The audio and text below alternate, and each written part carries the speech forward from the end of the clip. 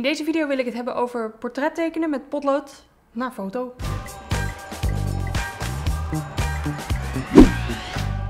Hoi, ik ben Robin Roosendaal en op dit kanaal heb ik het over tekenen, schilderen, schrijven, het fantasy genre en alles wat mij interesseert. Vind je dat ook leuk? Word dan even lid van mijn kanaal en volg me ook op Facebook en Instagram en Pinterest, want daar ben ik ook te vinden.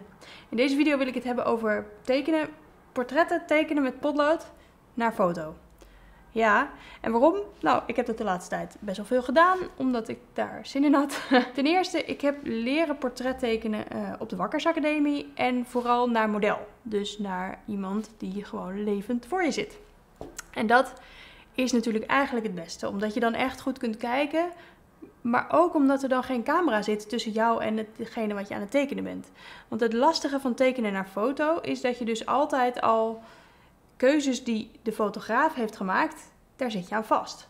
Want ik ben natuurlijk ook fotograaf en daarom weet ik dat een lens altijd het beeld vervormt. Dus ook als je gewoon uh, een smartphone gebruikt, en juist eigenlijk als je gewoon een smartphone gebruikt, die zijn vaak heel erg wijdhoek. Dus het beeld wat je ziet wordt heel erg vervormd. Denk er ook maar over na. Als je een, een, foto maakt van heel dichtbij, een selfie, dan ziet je gezicht er anders uit dan als iemand van een afstand een foto maakt en wat op je inzoomt. En op het moment dat je een foto gaat zoeken en naar die foto iemand gaat natekenen, een gezicht, ja, dan zit je dus vast aan, aan die lens. En niet alleen aan die lens, maar ook aan het licht zoals het in die foto is gevangen. Dus uh, bijvoorbeeld als delen van de foto helemaal zwart zijn geworden, ja, dan weet je niet meer of daar eigenlijk wel detail in zou zitten. Als iemand in levende lijven voor je zit, dan zie je vaak veel meer details. En dan zie je ook veel meer hoe het donker overgaat in nog iets donkerder, in plaats van dat het bijvoorbeeld meteen zwart wordt in de schaduwen. Dus dat is bij tekenen naar foto een dingetje, dat je gewoon eigenlijk al minder keuzes meer hebt dan als je naar live portret tekent. Maar ja, niet elke keer als je een portret wil gaan tekenen, heb je natuurlijk een persoon die even voor je wil gaan poseren. dus als je toch portret wil tekenen, is het heel logisch dat je ook naar foto gaat tekenen. En dan is naar foto tekenen wel beter dan zonder foto tekenen. Want als je, natuurlijk kun je best wel gezichten tekenen zonder dat je daar een referentie bij gebruikt. Maar meestal worden ze dan minder realistisch. Zeker als je het niet vaak oefent wel naar foto. Want juist door naar foto of naar het leven te tekenen, daardoor leer je hoe een gezicht echt in elkaar zit. Door goed te kijken en goed te meten. Wat natuurlijk ook leuk is aan het tekenen naar foto, is dat je mensen kunt tekenen die je niet dagelijks tegenkomt. Zoals uh, Brad Pitt of de koningin ik bedoel, die gaan niet echt voor je poseren waarschijnlijk. En ik teken zelf graag personages uit films en series die ik tof vind. Ik heb de laatste tijd bijvoorbeeld veel personages getekend uit eh, de tv-serie Supernatural, zoals deze. Mocht je niet weten wat Supernatural is, kijk ook even mijn video daarover. En hierbij zie je eigenlijk al dat het soort plaatjes wat ik dan zoek, want je moet dus plaatjes daarvoor zoeken dan als je die wil natekenen. Daar moet wel iemands gezicht helemaal op staan. Vind ik wel belangrijk. Want ik merk als je plaatjes gaat zoeken, dan is het nog best wel belangrijk dat je ook het juiste plaatje vindt om na te tekenen. Ik vind bijvoorbeeld, dus als je een portret gaat tekenen, dat je eigenlijk een heel hoofd moet hebben. En niet dat iemands hoofd wordt afgesneden. Want eigenlijk pas als je het hele hoofd ziet tot aan de bovenkant, dan pas kun je uh, goed de verhoudingen in het gezicht zeg maar, meten en zien. Um, wanneer dat af wordt gesneden, dan, dan is het soms moeilijk in te schatten en dan krijg je soms net dat het scheef gaat lopen. Um, dus dat is een dingetje. En ik heb ook gemerkt dat het wel belangrijk is dat als je een foto zoekt, dat je eentje zoekt die een beetje goed belicht is. Want als hij te donker is, dan is het ook gewoon moeilijk te zien um, ja, hoe alles zit in het gezicht. Dus dan is het moeilijker na te tekenen. Lijkt heel logisch, maar het duurde even voordat ik daarachter was. Nou, ik wil natuurlijk vandaag ook eventjes een tekening gaan maken met jullie. Uh, dus ik heb alvast een plaatje gezocht, want ik heb gemerkt dat plaatjes zoeken voor dit soort dingen is echt, uh, kost enorm veel tijd for some reason. Ik heb deze gevonden. Dit is Matt Smith, de elfde dokter van Doctor Who. Wat ik een hele toffe serie vind. En ik ga hem nog eventjes wat aanpassen. Dat kun je altijd natuurlijk doen. Ik heb wel gemerkt dat het me helpt als ik hem wat uh, contrastrijker zet. Zodat je eigenlijk dus de schaduwen beter kunt zien. Wordt de foto niet per se mooier van. Maar hierdoor kan ik het beter zien wat er gebeurt. Hoe ga je nu hiermee beginnen? Als je dit op een papiertje wil krijgen. Eigenlijk wat je moet doen is gewoon meten. Ik ga even potlood erbij pakken. Kijk, om dit goed te gaan weergeven moet je meten hoe lopen die lijnen. En hoe breed is het gezicht? Ik meet dat dan met mijn potlood bijvoorbeeld. Hoe breed is het gezicht ten opzichte van hoe lang het is? En hoe groot zijn, hoe breed zijn de ogen ten opzichte van ja, hoe laag zit de mond, zeg maar. Al dat soort dingen moet je eigenlijk heel precies meten. En ik heb bijvoorbeeld deze gemaakt op die manier door precies te meten. Hier ben ik echt heel nauwkeurig geweest van, oké, maar hoeveel ruimte zit er tussen het oog en het rechteroor? En hoeveel ruimte zit er tussen het andere oog en zijn linkeroor? En hoe breed zijn de ogen? En ik merkte dat ik, toen ik dat heel precies ging doen, dat ik er best wel uitkwam. En dat die, nou, toch wel enigszins lijkt. Dus dat vond ik heel erg leuk. Maar wat ook zo is als je dat op die manier gaat doen, het kost gewoon heel veel tijd. En dat is niet erg, want ik, ik vind ook dat je gewoon de tijd moet nemen eigenlijk voor tekenen. Ik bedoel, ik heb altijd gemerkt dat als ik de tijd neem voor dit soort dingen, dan wordt het over het algemeen beter. Dus dat is allemaal prima. En toch heb ik op een gegeven moment een manier bedacht om hier een beetje mee vals te spelen. En het is grappig, want ik noem dit dus vals spelen. Uh, dus dit is een trucje wat ik je uh, graag mee wil geven. En ik vind het vals spelen, maar dat is het misschien ook wel eigenlijk niet. Het is gewoon een hulpmiddel wat ik doe, en je hebt die dus, ik, heb, ik gebruik hier nu even een, uh, een iPad voor, maar ik doe dit ook vaak met mijn telefoon. Dat werkt net zo goed, alleen mijn telefoon is nu hierboven dit aan het opnemen. Dus dat gaat niet. Oké, komt de truc hè. Zet je iPad of telefoon zo fel mogelijk. Dus licht helemaal aan. En dan um, moet je even zorgen dat je het blad een soort van los hebt. Waar je op wil tekenen. En dan leg je hem er gewoon op. Nou, je ziet het misschien een klein beetje al. Je kunt natuurlijk nu de tekening overtrekken van wat er doorheen komt. Dus dit, dit noem ik vals spelen. Maar eigenlijk is het gewoon een manier om dat meten even sneller te doen. Want ook zoals je ziet, als je het kunt zien, dat weet ik niet zeker, uh, is dat je het niet heel goed ziet. Dus um, als je hiervan de basis gaat doen, dat betekent niet dat je het letterlijk helemaal kunt overtekenen. Het is eigenlijk gewoon, merk ik, een beginnetje. En ik heb ook gemerkt dat zelfs als ik dit op deze manier begin, lukt het me toch niet altijd om een goede tekening te maken. Dus ja, het blijft dat je gewoon de tijd moet nemen, goed moet kijken.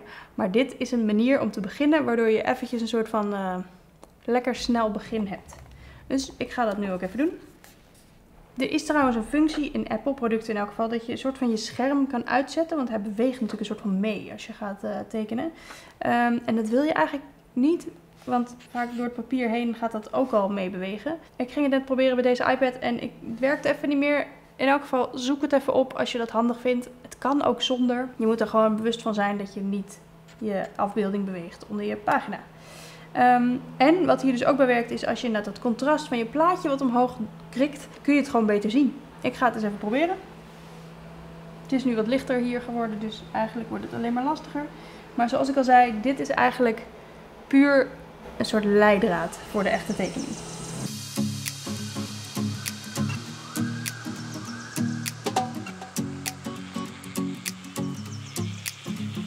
Je ziet dat ik dit uh, een beetje bijna slordig doe.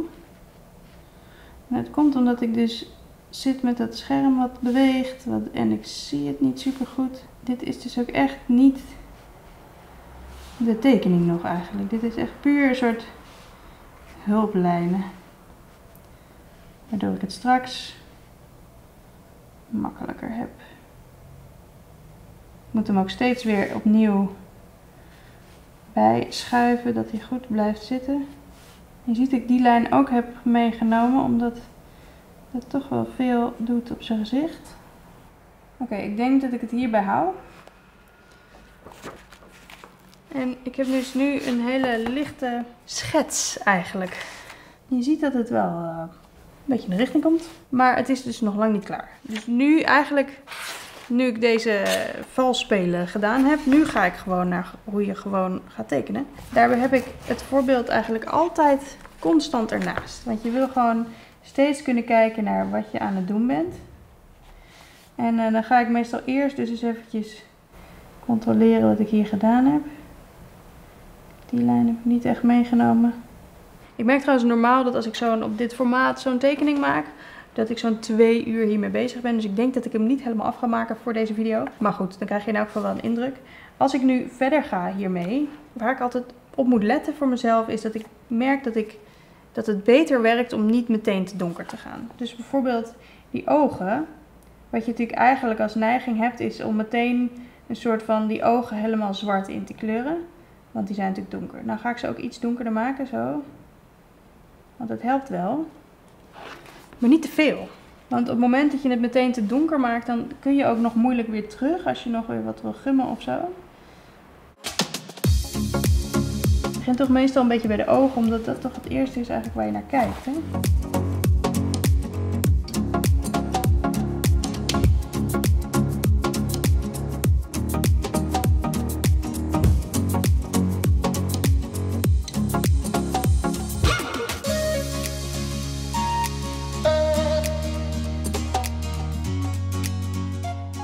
Zie, nou zit ik nu naar mijn tekening te kijken dat ik denk, wat heb ik hier nou?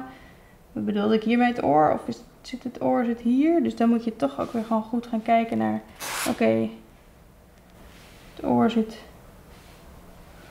nou, bij de ogen, dus dit is het oor. Dat heb ik dan niet goed gezien toen ik er doorheen uh, tekende, zeg maar. Wat ook niet gek is, want je kunt het helemaal niet zo goed zien dan.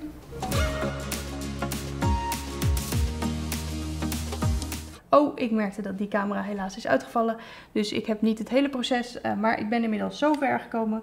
Um, en wat het vooral is bij op deze manier tekenen, merk ik, is dat, dat je het langzaam moet opbouwen in uh, uh, dieptes van zwartheid, zeg maar.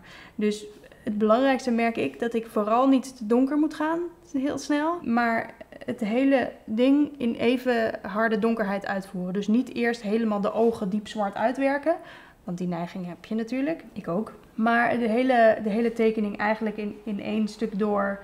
Uh, langzaam van lichtgrijs naar donkergrijs. Dus op het moment dat je de ogen dan donkerder hebt gemaakt weer, dan kun je daarna weer het haar weer wat donkerder maken. En zo langzaam de tekening opbouwen. Omdat als je één ding heel erg uitwerkt voordat je uh, de rest zeg maar op hetzelfde level brengt, dan raakt je tekening soms uit balans. Ik probeer bij het haar altijd toch een beetje de beweging van de haren te volgen. Ook niet te letterlijk. Ik merk dat ik niet kan stoppen met tekenen ondertussen. Omdat ik steeds weer dingen zie waarvan ik denk, oh, dit, dit moet nog beter. Ja. Uh, dus eigenlijk, ja, langzaam ga je gewoon steeds verder. En um, ja, stuk voor stuk. Dus maar ik probeer inderdaad steeds eigenlijk de hele tekening een beetje in de gaten te houden. Dus niet te veel te focussen op één punt. Nou, ik kan hier nog eindeloos mee verder gaan. Maar ik ga dat even nu niet doen voor deze tekening. Je merkt, ik heb echt de neiging om uh, natuurlijk door te gaan. Want als je mooi begint is het ook wel weer verslavend, dat merk ik altijd. Ik probeer in elk geval te eindigen op het moment dat het gewoon wel helemaal een beetje in balans is. En dat de donkere partijen kloppen met elkaar.